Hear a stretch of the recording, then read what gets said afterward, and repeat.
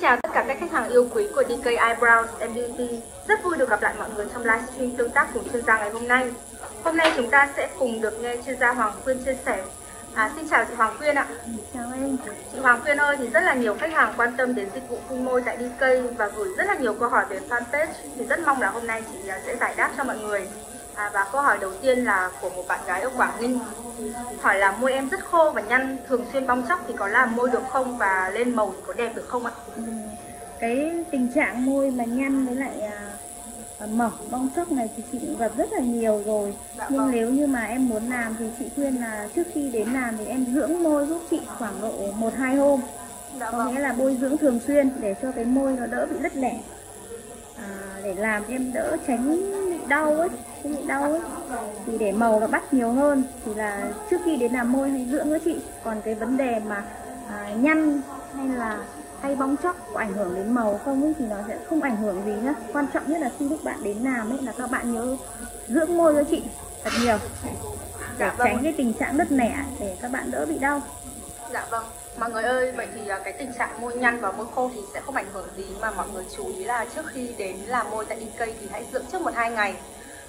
À, và cảm ơn chị. À, còn có rất là nhiều bạn gái cũng muốn thực hiện phun môi tại DK nhưng mà còn băn khoăn là vì à, đã từng phẫu thuật cắt môi hoặc là đã tiêm filler vậy thì những cái trường hợp đó thì có phun môi được không ạ? À, những cái trường hợp đấy chị cũng gặp khá nhiều bởi vì Vâng. thường là các bạn đi cắt môi thì các bạn có những bạn thì sẽ sẹo nó che lấp còn có những bạn thì bị sẹo nó trắng thì người ta muốn phun môi lên để che lấp cái sẹo đấy thì không vấn đề gì cả vẫn làm như bình thường bạn nhé còn cái trường hợp mà tiêm filler ấy thì các bạn lên là sau khoảng một tháng đến tháng rưỡi thì sau khi tiêm nó thì một tháng rưỡi mình có thể làm môi được rồi Dạ vâng, rất cảm ơn những chia sẻ của chuyên gia Hoàng Quyên ngày hôm nay.